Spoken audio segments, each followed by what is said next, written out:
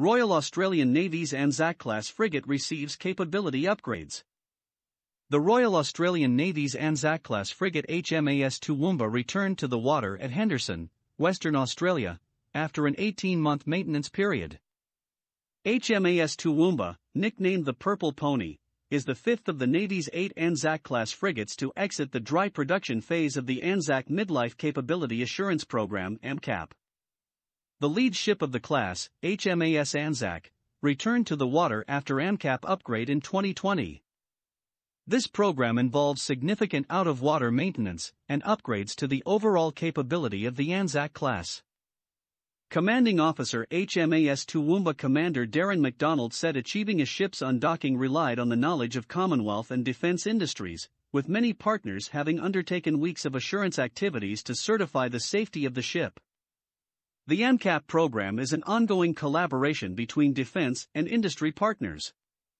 Toowoomba has been the beneficiary of a rolling cycle of enhancements from previous ships, Commander McDonald noted.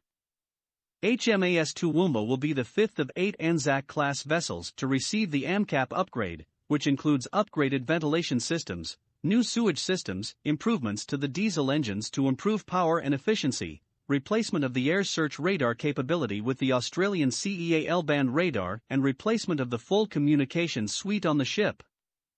The upgrade showcases Australian design and integration capability, with new phased array radar technology designed by CEA Technologies in Canberra, upgrades to combat systems performed by Saab Systems in South Australia, and platform integration designed by BAE Systems in Victoria. The upgrade program is being undertaken by the Navy, and the Warship Asset Management Agreement, which is a four way alliance between the Commonwealth's Capability Acquisition and Sustainment Group, Saab Australia, BAE Systems, and Naval Ship Management Australia. The focus for the crew and supporting industry now turns from deep cycle maintenance on frigate systems to returning them to an operational state.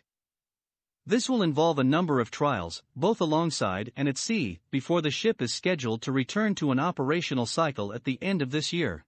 Thanks for watching. Be sure to subscribe and follow us on Twitter, Facebook, YouTube, and Instagram.